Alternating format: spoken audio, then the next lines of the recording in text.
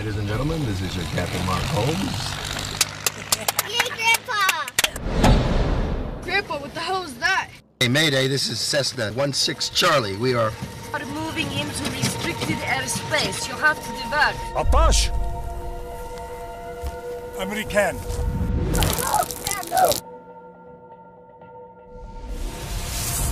Yes, hi, uh, my name is Fatmir Doga. So I'm born and raised in Albania. I'm a Canadian citizen. I did the Academy of Fine Arts in Albania, which is four years focus on acting.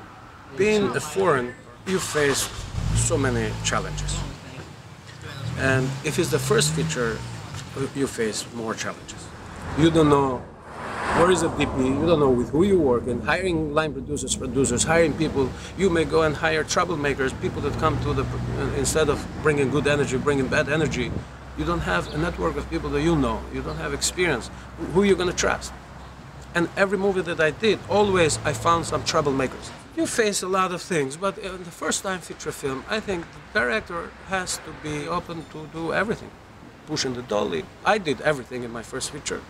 That's your passport to the film industry.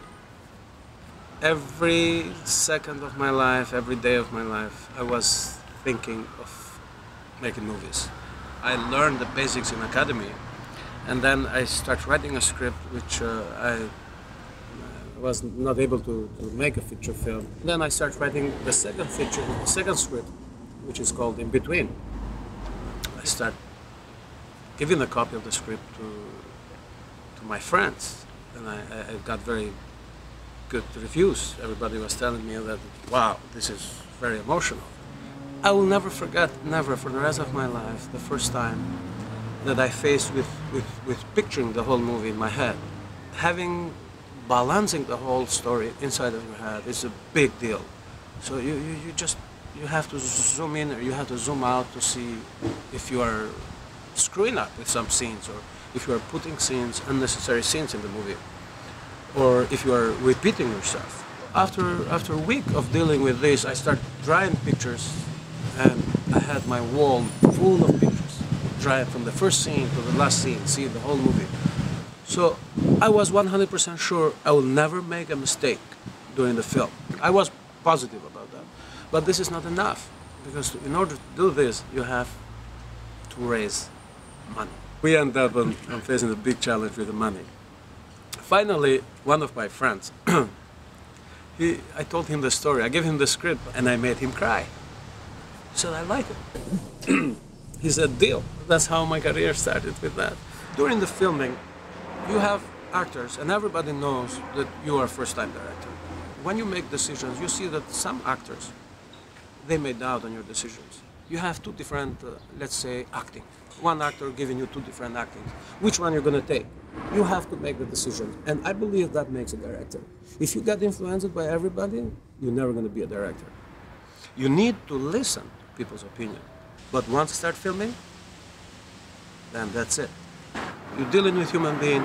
You have to know before you become a director, before deciding to be a director, patient. You have to love actors even when they are doing wrong. Being a director, you have to know acting, you have to know producing, you have to know journalism, you have to know science. It's not to say action and cut. What is very important, the difference between European and American filmmakers you have to make this decision since the beginning of your career. If you want to be an art director, then you have to stay in Europe. In Hollywood, it's a business. Now, that doesn't mean you make a Hollywood movie and has no emotions, no, no moral, no... Yes, a smart director does a commercial movie and puts all the art inside. So before you make a movie, you have to, to, to see which group you're going to qualify if you want to make an Hollywood movie. Art has to be inside. Good script, stars, financial, and move to the next one.